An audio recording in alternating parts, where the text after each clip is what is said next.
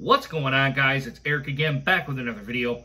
Just a real quick Detroit Lions tidbit here about the defensive coordinator. Uh, Cory is going to take over the play calling duties for Detroit uh, with uh, uh, being let go and Matt Patricia kind of taking over those duties.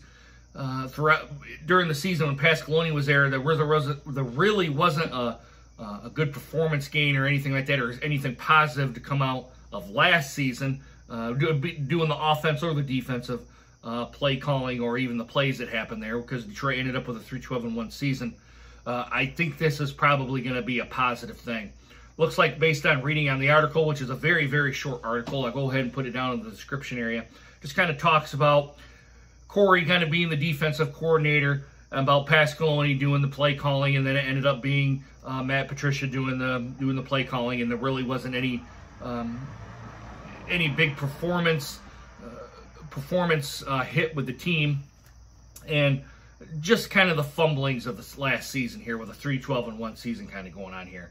Uh, it looks like Cory and Matt have a good relationship based on the article, and that's pretty much what the article kind of says here. There isn't a big write-up or a big blurb on it, only because I don't really think this is any real big news uh, about for, for the Lions here. So hopefully this is a step in the right direction uh, to get us back to 500 here.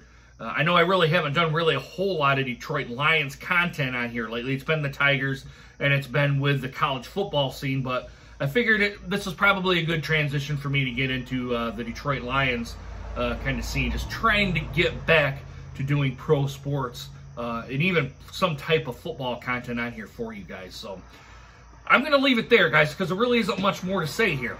Do you guys like it? Do you guys don't like it? Do you guys think the the play calling is going to be any different? Do you think he can kind of spice it up to kind of give the defense a competitive advantage?